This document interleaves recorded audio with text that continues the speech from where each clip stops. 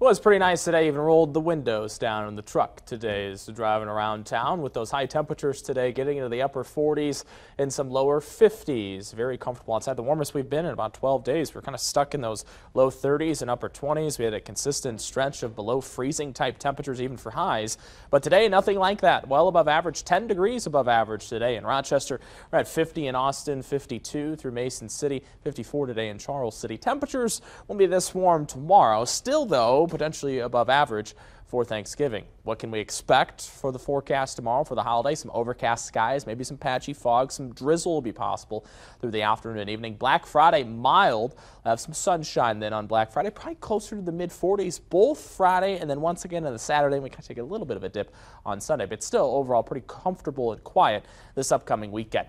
Lewis Now a live camera temperatures outside. We're at 39. Some mainly clear skies. We'll have some high level clouds on the way later on tonight. Winds are out of the southeast, currently at 10 miles per hour, so it feels a little colder outside right at about 32 at this hour. Temperatures low 30s. Winona, we're at 39. Currently in La Crosse, I-35 low 40s, still 43 through Owatonna, Albert Lea, Austin 40 right now in Mason City. Future track radar, talked about it. Tonight, a little warmer. Well, we have some cloud cover, so cloud deck moves in, allows the surface to stay warm.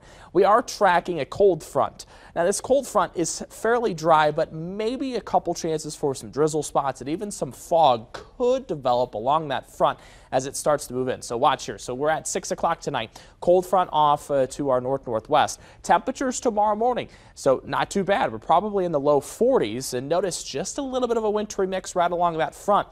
We're at 43, 28 in Fargo. So all that cold air then starts to move in pretty much just for Thanksgiving. So we're dropping those temperatures down. So we start before noon in the 40s after that 12 o'clock hour, probably down into the 30s for the rest of the afternoon. So Thanksgiving forecast, high temperatures, low 40s. We hit that in the morning, and we'll drop those temperatures down by probably 3, 4 o'clock. We're closer to around the freezing point. Some light flurries and even a couple sprinkles will be possible through the afternoon as that front moves in. So watch temperatures tonight, still in the low 40s, upper 30s. Here comes that frontal boundary along with it, a little bit of a wintry mix. It'll be fairly quick. Uh, no accumulation expected coming up tomorrow, whether that be rain or snow snow. Temperatures dropping then through the afternoon. We should stay pretty steady in the upper 20s for those overnight lows. Friday rolls around. We clear those skies out and those high temperatures could return to the upper 40s once again. So our precip chances upcoming weekend were dry all the way Friday extending into Monday. Just a couple straight chances for some drizzle spots coming up on Thursday. Then we're tracking that next system that could impact the upper Midwest Tuesday and Wednesday of next week. Tonight, overnight lows at 35. Winds will stay out of the south. Winds will be out of the south and then out of the north. That's why we drop those temperatures down throughout the day. 40 for the high. Couple spots there for some patchy fog throughout the day. So some drizzle spots tomorrow. And Then we'll see some sunshine coming up Friday and Saturday. High temperatures returning to maybe the upper 40s both those two days. Mark.